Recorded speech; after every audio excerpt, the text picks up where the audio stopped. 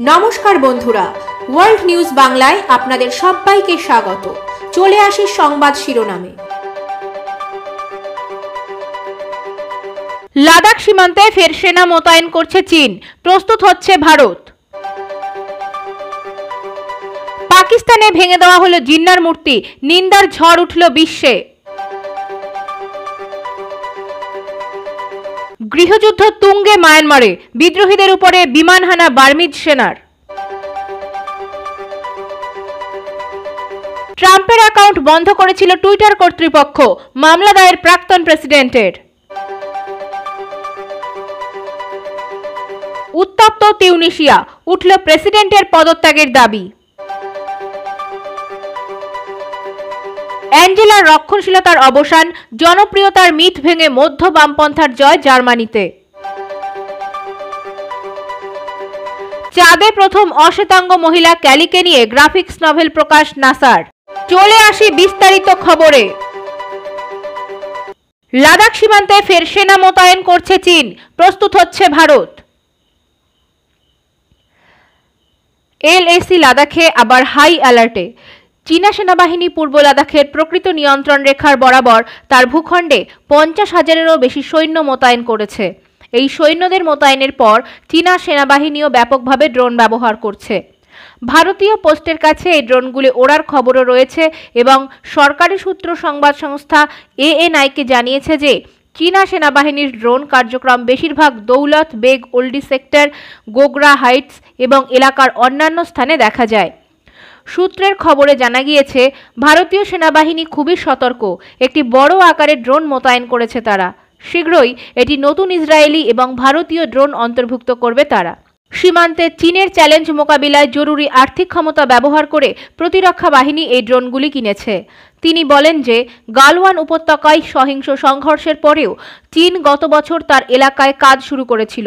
সূত্র জানায়, শীতের প্রয়োজনীয়তা পূরণের জন্য চীনের দিক থেকে এখনও অনেক জায়গায় নির্মাণ কাজ চলছে।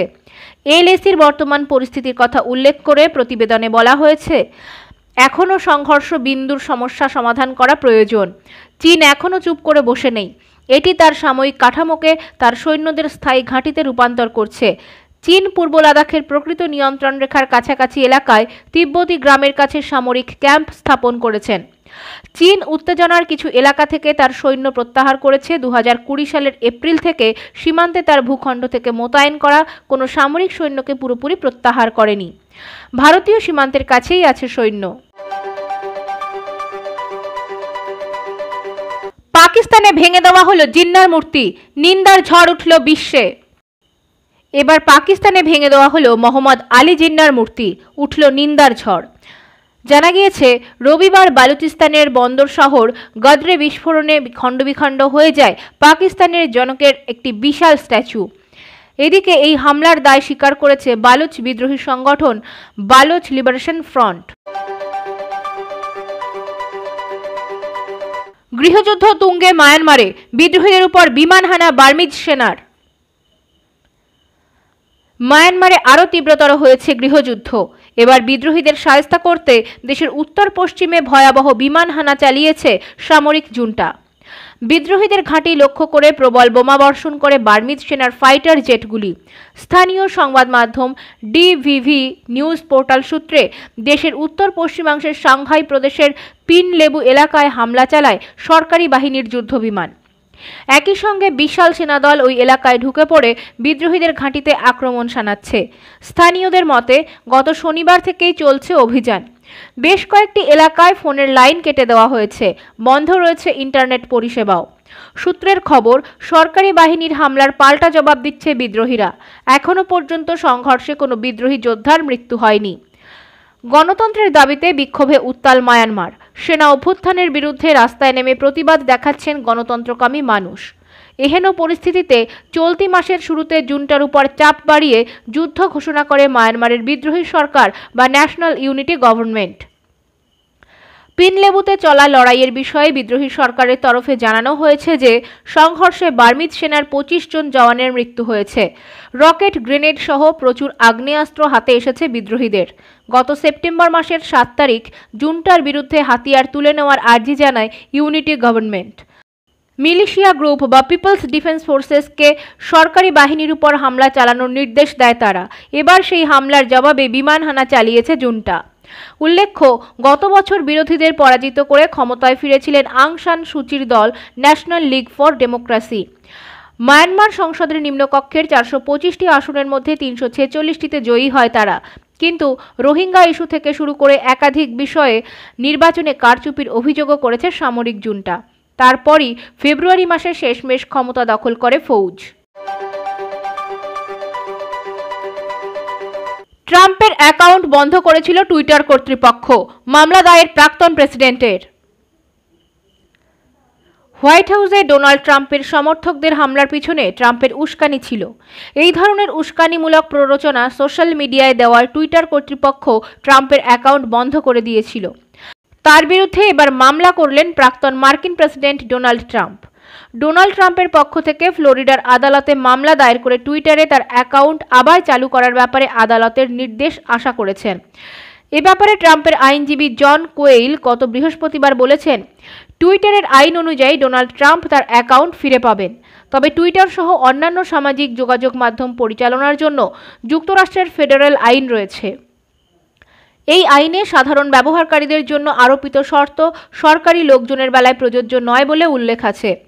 কোয়েল আরও জানিয়েছেন, এক পর্যায়ে ট্রাম্প চেয়েছিলেন তার অ্যাকাউন্টে কিছু লোকের প্রবেশ নিষিদ্ধ করা হোক। সাধারণ ব্যবহারকারীর জন্য বিষয়টি অনুমোদিত হলেও সরকারি অ্যাকাউন্টের বেলায় সে সুযোগ নেই। আবেদনে বলা হয়েছে, মার্কিন ফেডারেল সরকারের আইন লঙ্ঘন করে ক্ষমতায় থাকা অবস্থায় ট্রাম্পের অ্যাকাউন্ট বন্ধ করে দিয়েছে টুইটার। দু হাজার নয় সাল থেকে ডোনাল্ড ট্রাম্প টুইটারের অ্যাকাউন্ট চালু করেন। দু হাজার ষোলো সালের নির্বাচনে জয়ের পর তার অ্যাকাউন্ট সরকারি হয়ে যায়। এর মাধ্যমে ট্রাম্প জনগণের সঙ্গে যোগাযোগ রক্ষা করতেন। সংবাদ মাধ্যমের সঙ্গে বৈরী সম্পর্কের কারণে সামাজিক যোগাযোগ মাধ্যমে সক্রিয় হয়েছিলেন তিনি। ছয়ই জানুয়ারি ক্যাপিটাল হিলে হামলার জন্য ডোনাল্ড ট্রাম্পের উস্কানিমূলক বক্তব্যকে দায়ী করা হয়। এর জের ধরেই সামাজিক যোগাযোগের মাধ্যমগুলোতে নিষিদ্ধ হয়ে আছেন ট্রাম্প।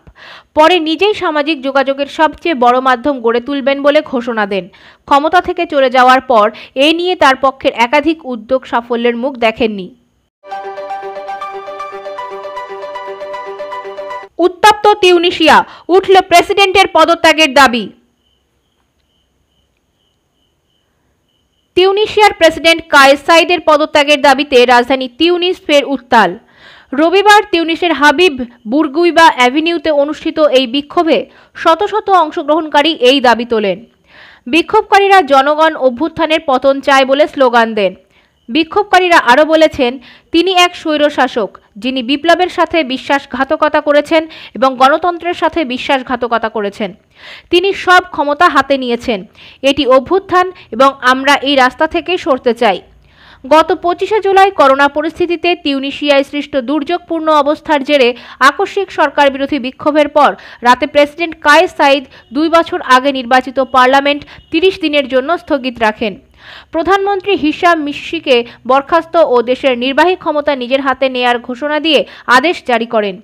পরে তেইশে আগস্ট রাষ্ট্রের জন্য হুমকি বিবেচনার পরবর্তী আদেশ দেয়া না পর্যন্ত পার্লামেন্ট স্থগিত রাখার আদেশ দেন প্রেসিডেন্ট কায়েস সাইদ অপরদিকে বাইশে সেপ্টেম্বর জারি করা এক অধ্যাদেশের মাধ্যমে সংবিধানের কিছু অংশ স্থগিত করার মাধ্যমে নিজের ক্ষমতার জোরদার করেন সাইদ তিউনিশিয়ার রাজনৈতিক দলগুলো এই আদেশকে সাংবিধানিক অভ্যুত্থান বলে অভিযোগ করে আসছে।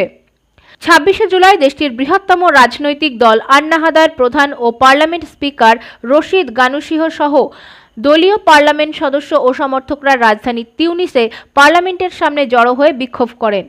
অপরদিকে প্রেসিডেন্ট কায়েস সাইদের সমর্থকরাও পার্লামেন্টের সামনে জড়ো হন। অ্যাঞ্জেলার রক্ষণশীলতার অবসান, জনপ্রিয়তার মিথ ভেঙে মধ্য বামপন্থার জয় জার্মানিতে। ষোলো বছরের একচ্ছত্র রক্ষণশীল শাসনের অবসান। জার্মানির সাধারণ নির্বাচনে পরাজিত হল অ্যাঞ্জেলা মার্কেলের কনজারভেটিভ পার্টি। আন্তর্জাতিক সংবাদ সংস্থা রয়টার্স সূত্রে জানা গিয়েছে, একসময় মর্কেলের সরকারি জোটসঙ্গী হিসেবে থাকা ওলাফ স্কুলজের সোশ্যাল ডেমোক্র্যাটিক পার্টি মাত্র দেড় শতাংশ ব্যবধানে নির্বাচনে জয়লাভ করেছেন। অ্যাঞ্জেলা মার্কেলের দল শেষ পর্যন্ত চব্বিশ দশমিক এক শতাংশ ভোট পেয়েছে। অন্যদিকে এসটিপির ঝুলিতে এসেছে পঁচিশ দশমিক সাত শতাংশ জনমত। মর্কেলের বিপরীতে থাকা ও জয়ী হওয়া দল এসপিডির মধ্যে বামপন্থী দল হিসেবেই পরিচিত। অন্যদিকে অ্যাঞ্জেলার দল পুরোপুরি রক্ষণশীল ভূমিকার জন্য খ্যাত। অ্যাঞ্জেলার দল সিডিইউ ও জয়ী দল এসডিপির বাদে এই নির্বাচনে প্রতিদ্বন্দ্বিতা করেছিল পরিবেশবাদী গ্রিন পার্টি ও লিবারেল ফ্রি ডেমোক্র্যাটিক পার্টি। তারা পেয়েছে চোদ্দ দশমিক শূন্য ছয় ও এগারো দশমিক শূন্য পাঁচ শতাংশ ভোট। জার্মানির সংসদে মোট সাতশো পঁয়ত্রিশটি আসনের মধ্যে এসডিপি পেয়েছে দুশো ছয়টি এবং অ্যাঞ্জেলার দল একশো ছিয়ানব্বইটি আসনেই থমকে গিয়েছে। বাকি পরিবেশবাদী পার্টি একশো আঠেরোটি আসন নিয়ে তৃতীয় স্থানে রয়েছে। এ বাদে ফ্রি ডেমোক্র্যাট পার্টির ঝুলিতে এসেছে বিরানব্বইটি আসন। দু হাজার পাঁচ সাল থেকে টানা তিনবার নির্বাচনে জয়লাভের পর অ্যাঞ্জেলার এই হার থেকে আন্তর্জাতিক মহলেরও একাধিক শিক্ষা নেওয়ার আছে। যদিও পঁচিশ দশমিক সাত শতাংশ ভোট পরবর্তী সরকার গঠনের জন্য যথেষ্ট নয়। তাই এসডিপি কাদের সঙ্গে জোট করবে সেদিকেও নজর রাখতে হবে। কারণ অ্যাঞ্জেলা মার্কেল শুধুমাত্র জার্মানির চ্যান্সেলর ছিলেন না, তিনি বিশ্বের অন্যতম প্রভাবশালী ব্যক্তিদের প্রথম দশজনের তালিকায় থাকা মানুষ। ফলে তার জনপ্রিয়তা হ্রাস পাওয়া এবং রুচির দলের প্রতি মানুষের আগ্রহ ইউরোপের আগামী দিনের রাজনৈতিক প্রেক্ষাপটে বদল আনতে পারে বলে মনে করছেন রাজনৈতিক বিশেষজ্ঞরা।